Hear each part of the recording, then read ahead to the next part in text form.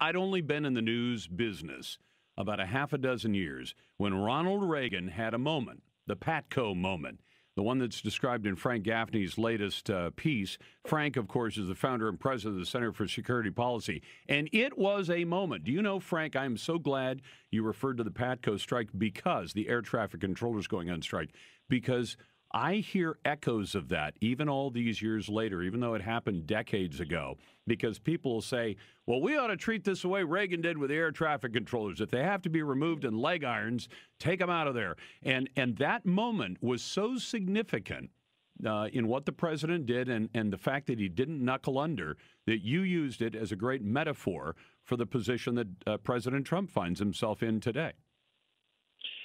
Yeah, thanks. I, I hope we're going to see that um, in his speech tonight, uh, that he's going to demonstrate uh, what proved to be really a defining moment for President Reagan. Um, and there were a lot of people, uh, as with this episode over building the wall and border security and uh, the Democrats insisting they won't, uh, that that you know are reminiscent of the kind of pushback that Ronald Reagan got. You know, oh, the air traffic system will collapse, or um, you're, you know, being beastly to these, um, you know, public servants, and they're they're terribly overworked and underpaid, and on and on and on. He said no.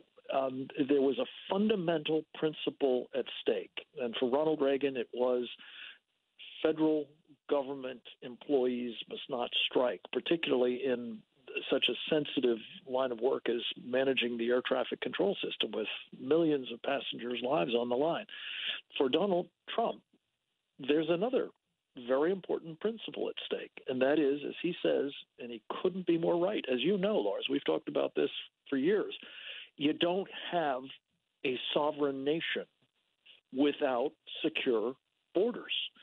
And we have a particularly porous one on the south of this country. Uh, the north one is turning out to be increasingly a problem, I have to say, but the one on the south at the moment is manifestly a security and a public safety problem. And he's absolutely right to say we need to secure it, and a barrier, a fence, a border wall, call it what you will, um, it has to be built securely and in a way that is going to deter large numbers of people, not everybody, but large numbers of people who otherwise feel that they can get here uh, with impunity and be taken well care of if they do. Well, and and I, I've had people say, "Look, he won't, he won't do this, and he won't do that."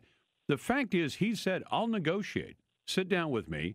And I heard Chuck Schumer in an interview last week because Senator Schumer doesn't do interviews on this program uh, say, we are not going to give him the wall. That's a non starter. Simply no, no compromise, no negotiation, no nothing. So, what I keep asking people, even some of the conservatives, I've had border agents call me who are on furlough right now. And they've said, well, you know, we're going to go without paychecks. And, and the first paycheck they'll miss is this Friday. So we're, we're not exactly looking at starving federal employees at this moment. But I can understand if they anticipate no check going in the bank on Friday that that'll probably create problems for some of them. But I've asked them how how how firmly do you want him to stick to his convictions? And if he said, "I will do this if necessary to get what I promised the American people and what they voted for," then uh, then do you want him to stick to his convictions, or do you want him to cave in like so many people do in Washington D.C. and frankly in state capitals in the 50 states? Yeah.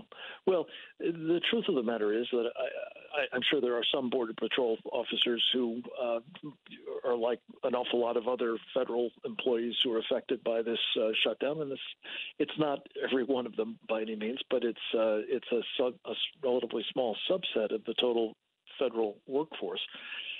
But I think the vast majority of those Border Patrol folks absolutely get the principle that Donald Trump is protecting and the people that he is protecting, and therefore, at least that that population is is going to be strongly in his camp, and I think an awful lot of other Americans are too. You know, I, I was listening to a, another program who will go, the host will go unnamed here, but he was talking the other night about uh, the other afternoon, I guess, about the fact that um, you know some of the recent polling indicates that 90 plus percent of the American people agree illegal immigration is a problem, including overwhelming numbers of Democrats. Now, yeah.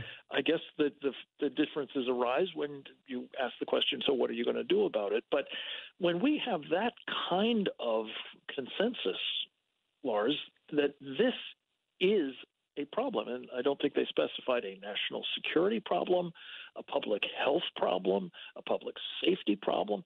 Let's face it, it's all of the above, and an economic problem to boot. That's the kind of thing that the president has to stand on principle and insist, as Ronald Reagan did with Patco, this will not be allowed to uh, go down the way the Democrats are insisting that it go. You know, it's funny, Frank, because I began this hour by citing, uh, and the poll was a morning consult poll, and it was done within the last week. And it says that 80% of the American public either calls it a crisis, a slightly larger number says it's a crisis in the 40s, mm. and in the high 30s think it's a problem. Only 12% of the people in that poll say it is not a problem at all. Now, mm. if it's only 12%, that's a fraction of all the Democrats in the country.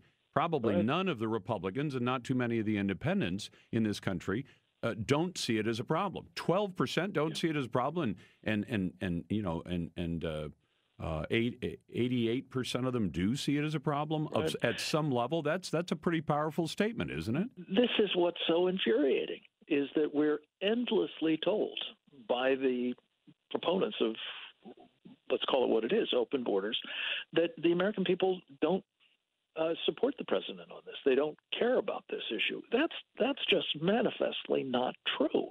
And more to the point, even if nobody did care about it, it would still be a problem, an economic, a national security, a public health, a public safety problem. And Lars, I, when you have both, I think the rightness of the policy and the public sentiment behind it. This is the sort of thing that the president should stand on, and I, I must tell you, I am so gratified that he has after after seemingly being uh, willing to roll with it earlier uh, last year.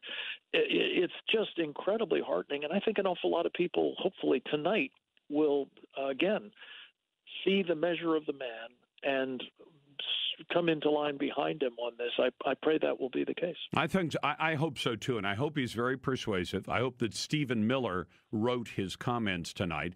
I kind of wish, I kind of wish the president would sit there in the Oval Office with a little visual backup. I wish he'd run the tape of prominent Democrats over the decades, including some who are still in office today, saying, I will support, I will fund a wall, I will vote for a wall because yep. that's the most ridiculous part of this. That you have Democrats today who say we won't vote for it because it's coming for Trump.